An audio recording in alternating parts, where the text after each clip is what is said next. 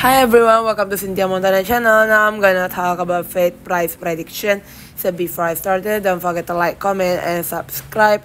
I'm not a financial advisor. I'm just gonna give you some prediction using a technical analysis. The Vite here slightly still above all of the moving average, which means totally good if the price is still above moving average 7, 0.0196 US dollar, then still having opportunity. There's a stochastic neutral position. The daily chart here also is above all of the moving average.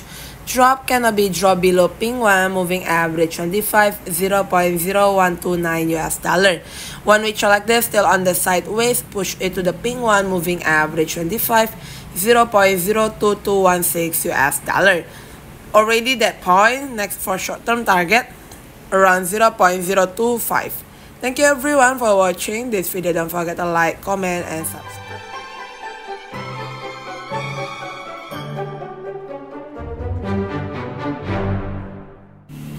Hi everyone, welcome to Cynthia Montana channel. Now I'm gonna talk about Vite price prediction. So before I started, don't forget to like, comment, and subscribe. I'm not a financial advisor. I'm just gonna give you some prediction using a technical analysis. The Vite here slightly still above all of the moving average, which means totally good if the price is still above moving average 7, 0.0196 US dollar, then still having opportunity. There's a stochastic neutral position. The daily chart here also is above all of the moving average.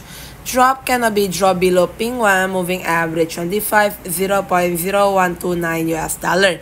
One week chart like this still on the sideways push it to the ping 1 moving average 25 0.02216 US dollar. Already that point next for short term target around 0.025. Thank you everyone for watching this video. Don't forget to like, comment, and subscribe.